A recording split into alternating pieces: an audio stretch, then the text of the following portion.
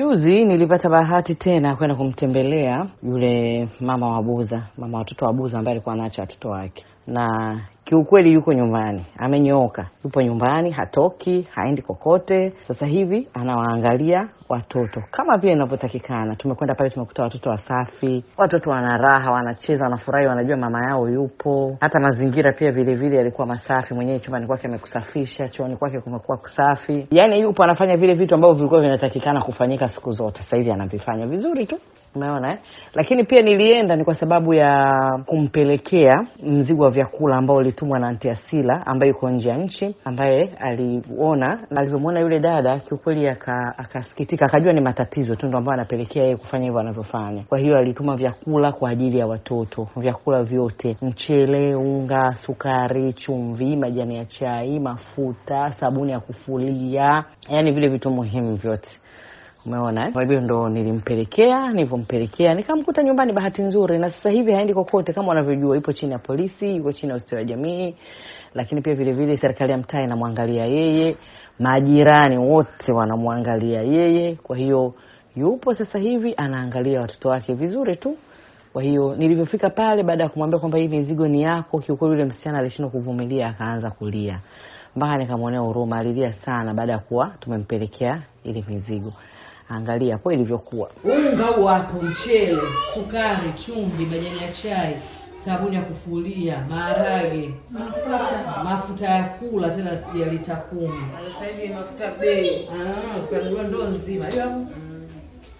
Jamani, kwa kweli kazi nimeifanya, kazi nimeifanya. Hata hivyo mnaweza nani? Unaficha tena sura. Analia, Analia huyo. Usilie mama nani, mama jamani, na, na kuna Mtanzania? Analia kwa uchungu alikuwa anafanya saa ingine sio ile. alikuwa anafanya kwa ajili ndio hivyo watoto wao. Usilie mwaya. Ukilia kama hivyo usifunga naye atajisikia mnyonge. Eh, usile mtoto wako atalia. Tusalishe wengine tulio wengine tulie mpaka tulia na tena na masumo bwana, kawaida tu.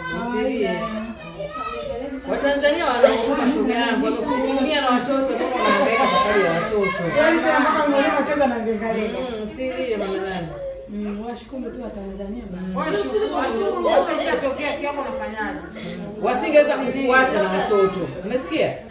Hawezi kukuacha na watoto peke yako. Ndio maana wameamua kusaidia. Tu basi.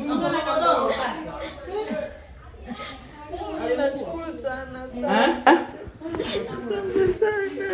watoto uwapikie, watoto wale. Umesikia? Sema sasa ndio ukae utulie sasa na watoto, sawa? Utatulia? Aya, usilie ndugu yangu. Mm.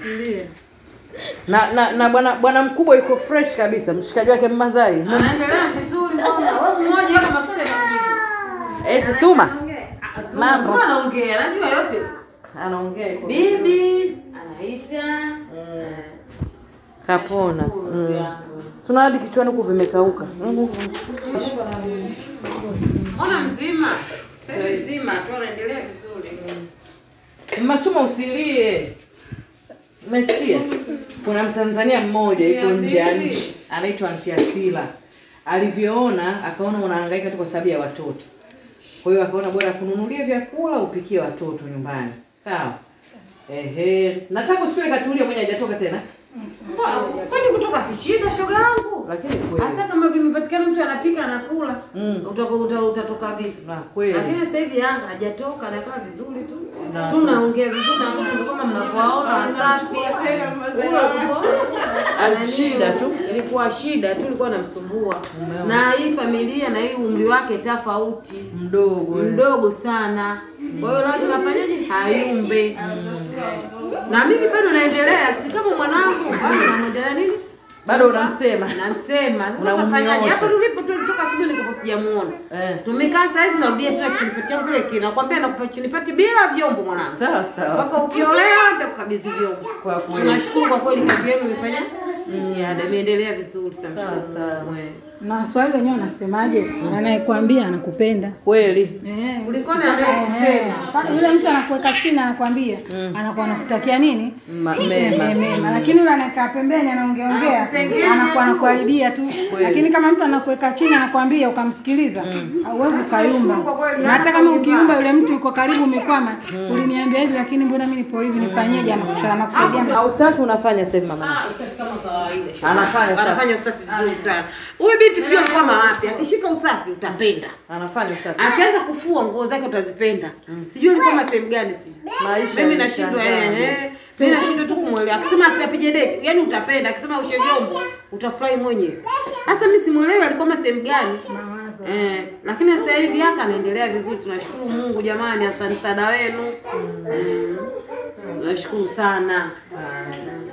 yule mwingine wa kiume yuko hapa alikuwa anaongea Hao wapo wote, utawajua wewe sasa hivi? Eh. sasa hivi wako vizuri Wako vizuri. Hao wawili hao wanaendelea vizuri. Kama na wanao mwenyewe mpaka na watoto wanafurahi wako na mama Anaongea kabisa, "Mimi nilikuwa ambi yangu, mimi sio ambi yangu, wanawe." Anaongea. huyu naye dawa zimemsaidia za kwenye goti eh? goti linakauka eh? Vizuri tu.